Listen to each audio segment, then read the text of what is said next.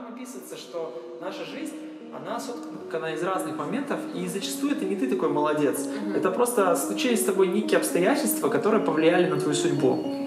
И а, как бы задним числом отматывая назад, я понимаю, что в моей жизни был ряд таких обстоятельств. Вот я вам только что рассказал а, кейс с а, учительницей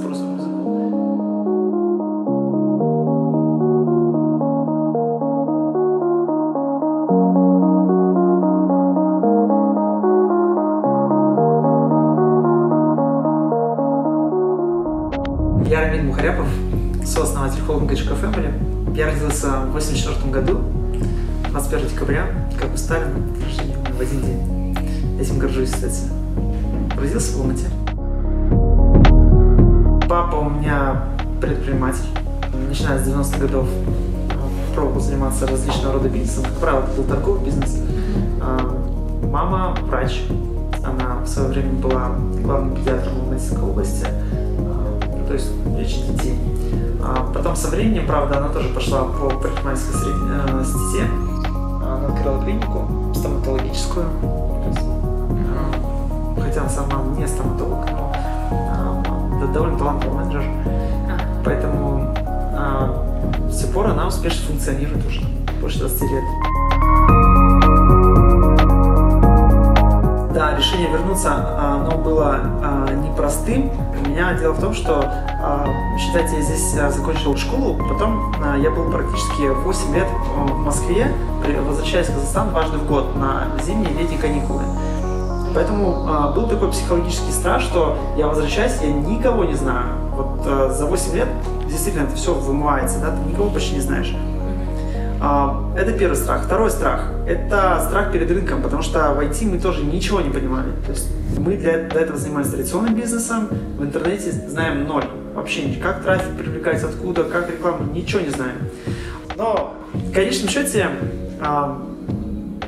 очень многие наши прогнозы и э, предположения, которые мы строили перед запуском, как что у нас пойдет, они оправдались. То есть, как оказалось, рынки очень похожи. Россия, Казахстан, э, все, что работает в России, все работает в Казахстане.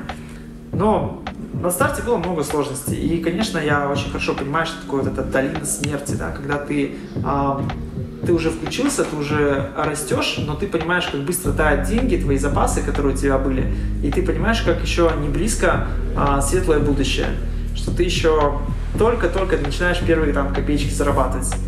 А, могу, конечно, вот сейчас оглядываясь назад, понимаю, что есть огромная разница между малыми компаниями и средними компаниями потому что у них проблемы другие совершенно. Когда ты вырос до определенного размера, то ты уже, у тебя нет мысли, например, как заплатить за аренду, или у тебя нет мыслей, где же достать деньги на зарплату персонала. У тебя, у тебя нет вот этих супер приземленных вещей, о которых постоянно думает малый бизнес. А, как бы фокус смещается на совсем другие вещи, которым гораздо приятнее заниматься, чем каждый день думать о деньгах. Вот это прям особый кайф.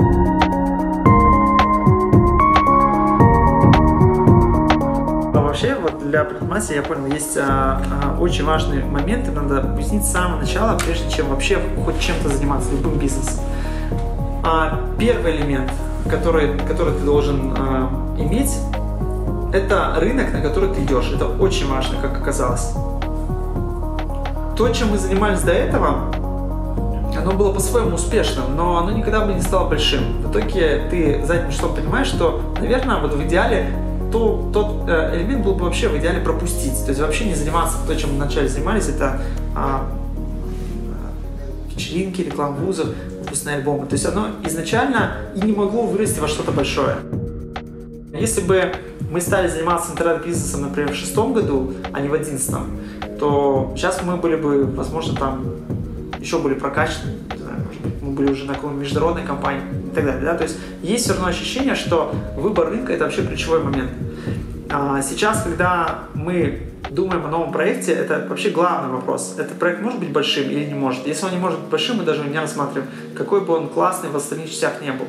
Это очень важно, на какой рынок ты идешь.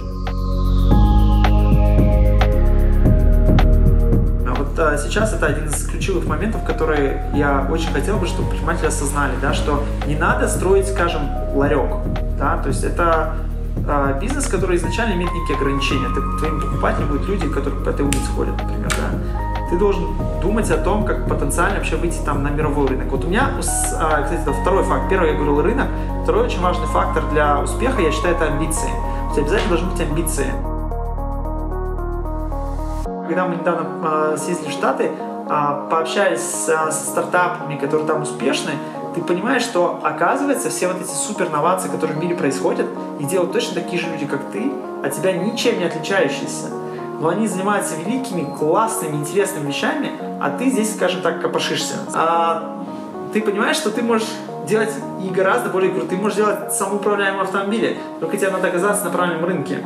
Я думаю, что это очень важно. Чем быстрее предприниматель скинет себя вот эти шоры, а, тем лучше он будет. Короче, амбиции быть в чем-то мировым технологическим лидером.